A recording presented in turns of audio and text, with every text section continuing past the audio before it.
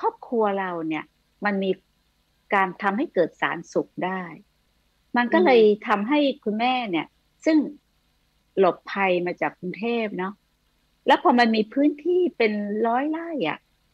คุณแม่ก็เป็นอุปนิสัยของคุณแม่อยู่แล้วว่าไม่กินคนเดียว ไม่กินสั้นๆ อาหารอร่อยกินกันหลายคน พอเราเริ่มทำกุหลาบเนี่ย หมอปองก็บอกกับคุณแม่ว่า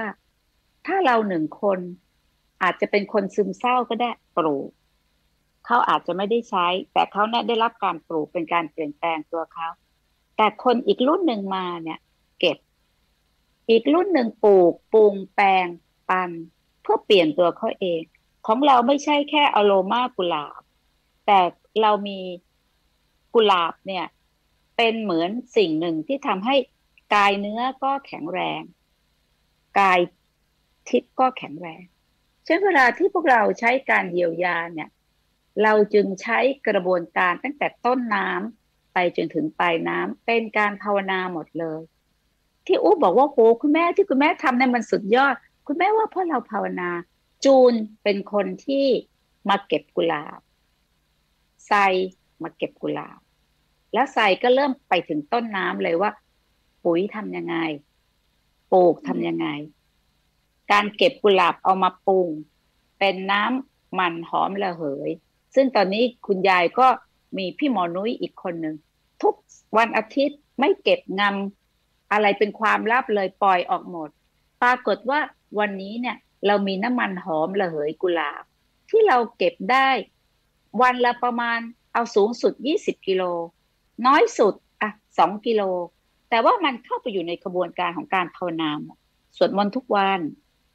เก็บก็ยังต้องขออนุญาตเลย ไม่ใช่เก็บงกนะ ไม่ใช่งกเก็บวันนี้จะเอากี่กิโลยังต้องขออนุญาตเลย คัดดอกกุหลาบ มีคนบริจาค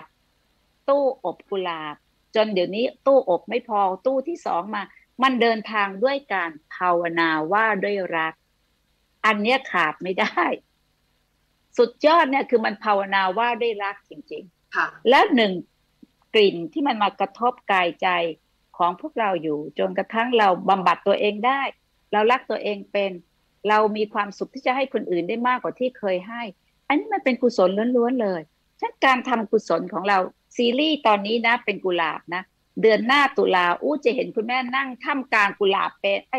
ท่ามกลางบัวน้ำเงิน เป็นพันๆดอกเลย ตอนนี้เรากำลังทำบัวน้ำเงิน ซึ่งมันก็จะมีลักษณะของการเยียวยาให้หลักลึก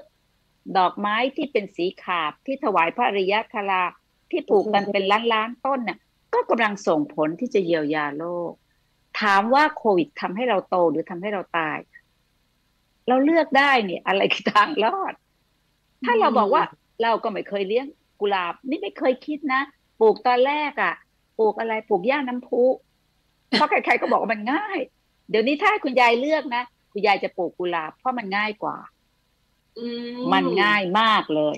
ไม่ใช่หมายความว่าขบวนการมันง่าย แต่มันฉุดช่วยคนได้ง่ายกว่า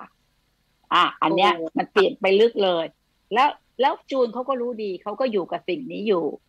ไซเขาก็รู้ดี ไม่อย่างนั้น ไอ้เวลายี่สิบกว่าวันที่เขาอยู่กับเราเนี่ย ถ้าจะนับนะ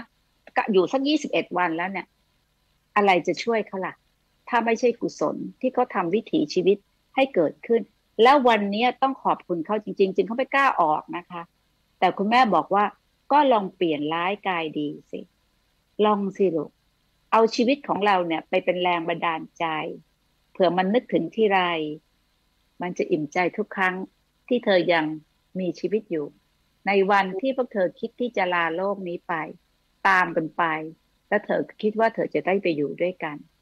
เปล่าค่ะ เธออยู่ในปัจจุบันอย่างเป็นกุศลตหา ที่เธอจะได้อยู่กับสิ่งที่เธอรัก และแม้เขาจะจากไป เราก็ยังทำกุศลให้เขาอย่างนี้ไม่เรียกว่ารักหรอลูกสิ่งเหล่านี้มันคือสิ่งที่มัน ยอมรับว่าถ้าสุดยอดมันคือวิถีอย่างนี้จริง ๆ นะ และขอให้รู้ว่าตอนนี้ผลิตภัณฑ์ของทาราฟาร์มกำลังเลี้ยงผู้คนจำนวนมากมายเลยมันกำลังเปิดประตูให้คุณยายเนี่ยทำงานแบบขยงก้าวกระโดด เพราะว่าตอนนี้ คุณยายกลับกลายเป็นคนที่หนึ่งป่วยสองเยียวยาตัวเองด้วยวิถีชีวิตอย่างนี้สามแบ่งปัน เมื่อตัวเองเปลี่ยนได้เราก็แบ่งปัน เมื่อเราได้แบ่งปันเนี่ยเราถ่อมตัวอีก ขอบคุณนะที่ทำให้พวกเราช่วย เพราะฉะนั้นการจะเปิดเสถียรหนึ่งอาจจะยังหลังหุบเขาโพธิสัตว์เพราะหุบเขาโพธิสัตว์ไม่ได้อยู่ในพื้นที่สีแดง มีขั้นตอนมีกระบวนการ ราะฉะนั้นคุณแม่เชื่อว่าเราจะเป็นเพื่อนร่วมทุกข์ในยุคโควิด ที่เราไม่ตายทั้งเป็น โควิดมาให้เราโตขึ้น เราจะไม่มีสิ่งนี้เลยถ้าไม่มีโควิด เราจะยังหลงทางกันอีกเยอะเลย ถ้าเราไม่เป็นหลุมหลบภัยที่มีชีวิต